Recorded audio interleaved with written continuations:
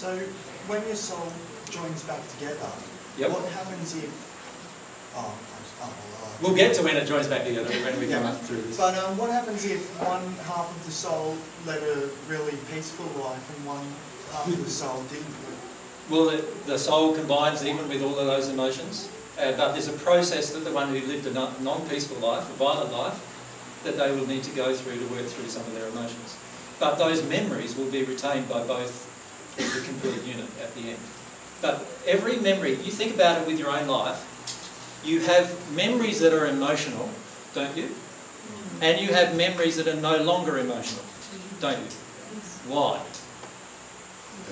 because you've dealt with it. And it's very much the same here. Eventually you get to the stage in your progression where you have all the memories of your existence, but no emotional attachment to those memories because they are now dealt with.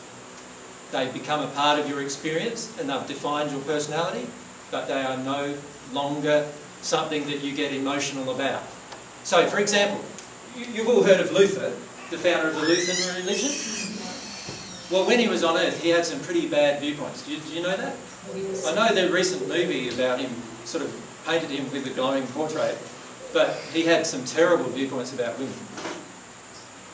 He, he called women subclass, and he said the best way to keep a woman was to keep her in the home. Is that what And therefore yeah, there's an extension of it.